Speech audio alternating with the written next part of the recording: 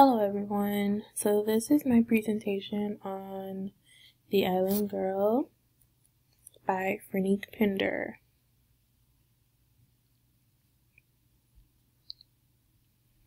So who's Fernique?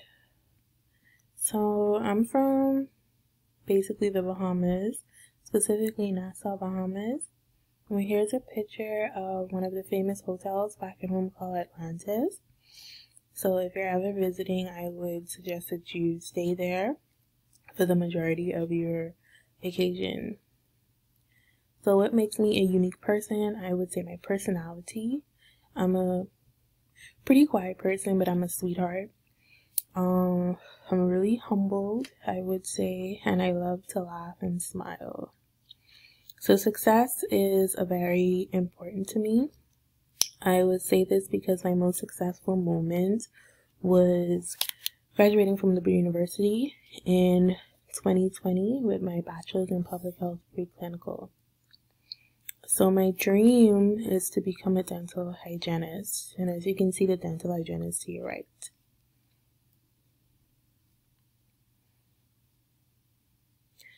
So some of my favorites would be traveling, um, I still hope to visit Dubai, so that's still number one on my list. Um, watching vlogs and TV shows, so I spend most of my time on YouTube. Spending time with friends and family. There's a picture of my family. And just a little bit about myself. My favorite song would be Hello by Kes. Just a little intro on the song I want to play for you guys.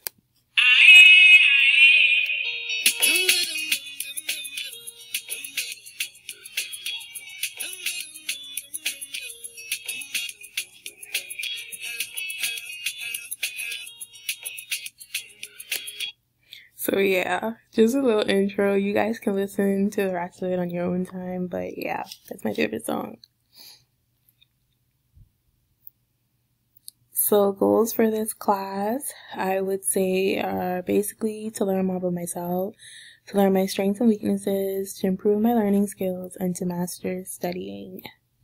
So I chose this picture to your right because it basically describes who I am in terms of goal setting and being a overachiever and being driven by my dreams. So I would say I'm a big dreamer and I like setting goals. So this isn't something new for me. And in order to set goals, you have to actually put them into play, like actually take action. So yeah. So that was a little bit about myself. Thank you guys for watching. And this is me to your left. Goodbye.